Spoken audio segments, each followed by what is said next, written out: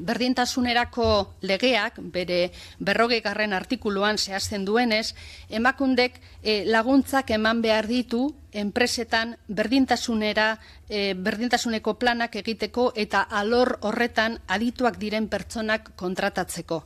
Agindu hori jarraituz eta laguntza honen bitartez, emakunderen helburua da, ba, berdintasun planak dituzten enpresa pribatuen kopurua gehitzea eta horretarako e, onako tresnak erabiliko ditu. Enpresei aholkularitza ikerketa eta tresna eta metodologien bitartez euren erakundean berdintasunerako planak, programak eta ekintzak egin ditzaten, e, diru laguntzak enpresa eta entitate pribatuei berdintasun planak eta diagnostikoak egin ditzaten. Helburua da, e, iru barra 2000 da legeak berdintasun plana izatera behartzen ez dituen enpresetan onelako planak areagotzea.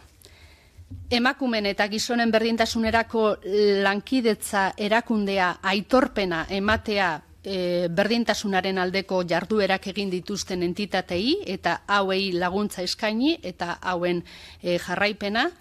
Aholkularitza enpresen homologazioa, enpresei eta entitatei laguntza teknikoa eman diesaieten eta hauen jarraipena ere, e, eta lankidetza erakundeekin eta interesa duten beste enpresa batzuekin sensibilizazio jardunaldiak eta lansaioak.